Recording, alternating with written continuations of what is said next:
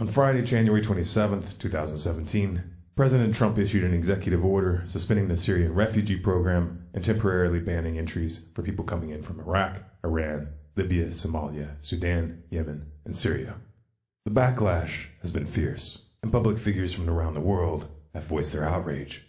On one hand, this is understandable, given the humanitarian implications. However, one has to ask, where was this outrage when the refugee crisis was being created? Where was the righteous indignation in 2011 when the Obama administration toppled the Libyan government? First by sending in the CIA to back rebel groups that ended up having direct ties to Al Qaeda, and then using airstrikes to finish the job.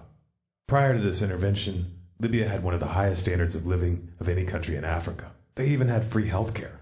Today, the country is a failed state, plagued by ongoing violence. That's why these people are trying to escape. And where was the righteous indignation in 2012, when the U.S. began providing weapons, money, and training to rebel groups in Syria in an attempt to overthrow Assad? Even at the time, it was known that most of these weapons were ending up in the hands of jihadists. And it was no secret that these groups were committing horrific atrocities.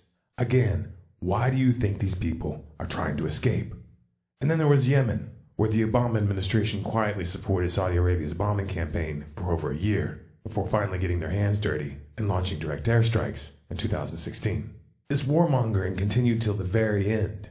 Here's a map of where the 26,171,000 bombs Obama dropped in just the last year of office fell. You know, it seems to me that the inhabitants of these countries would have preferred that you stand up against the wars that destroyed their homeland before and while it was happening, rather than take issue of where they are allowed to go in the aftermath.